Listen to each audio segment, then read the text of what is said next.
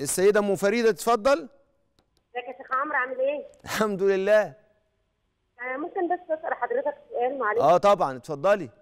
الناس يعني إحنا لما حد بيبقى زعلان من حد بيقول له ده سامحه وربنا بيسامحه هو معنى إن هو كده بيقارن نفسه؟ استغفر الله العظيم مثلا بربنا؟ بيقول له إيه؟ بيقول له ما تسامح ده ربنا بيسامح؟ آه. فهو دلوقتي انت عايزة تقول تقولي ان هو كده كأنه بيقارن مسامحته بمسامحة ربنا؟ أيوه. طيب ده سؤالك.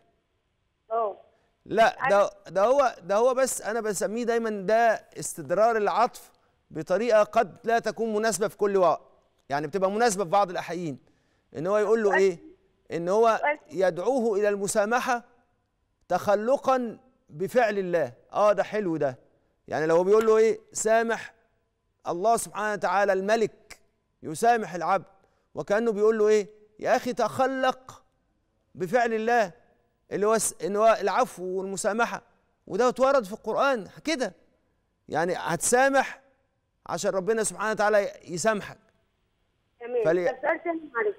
إيه؟ ده السؤال الأولاني. السؤال الثاني آه في ناس مش متزمده دينيا لا ملتزمة. التزام اللي هو الصوم والصلاة. تمام؟ ليه بقى ما بيعملوش بصله الرحم؟ زعلانين مثلا من قرايب زعلانين من بعض وما بيعملوش بصله الرحم. طيب يعني أنت بتقولي ربنا كويس قوي الالتزام يعني أنت بتقولي دلوقتي إن في ناس بيلتزموا ومع التزامهم ده بيقطعوا صلة الرحم. ده بيبقى عقابه إيه مثلا؟ أو ده بيبقى إيه ولا حاجة ربنا؟ ولا حاجة. عقابه إن هو قاطع لصلة الرحم وربنا توعد اللي بيقطع صلة الرحم إن ربنا بيقطعه. يبقى مش هيشوف بركة. يبقى هي- هيحس هيحس بضنك هيحس بأذى هيحس بإن هو بعيد عن البركة. فلذلك انت لازم الشخص اللي بيعمل كده لازم ياخد مدد من العبادة على نفسه الأمارة بالسوء. لازم تحس إن العبادة دي ربنا جايبها عشان تنتقل إلى إنك أنت مع الله. وإن ربنا يمدك وإن ربنا لا يتركك وإن ربنا يحب من يقبل عليه من عباده.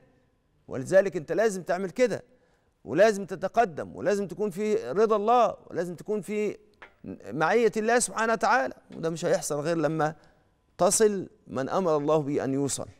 اللي هو إيه بقى؟ رسالة الرحم.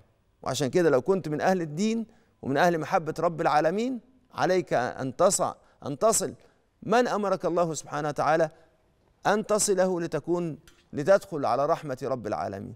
يا رب اجعلنا يا رب دوما من أهل صلة الأرحام ومن أهل البركة ومن أهل النور. واجعل قلوبنا لينة واجعل عبادتنا تفتح لنا بابا على رؤية جمالك يا رب العالمين.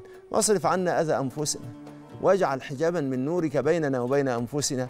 واجعلنا من المتقين واجعلنا من الأبرار. وانشر في قلوبنا الأنوار. لنرى جمالك يا غفار ونسير خلف النبي المختار بمدد من نورك وتفتح لنا كل الأسرار التي بها نبقى في حضرتك حضرة الرحمة والخير والجمال ليل نهار.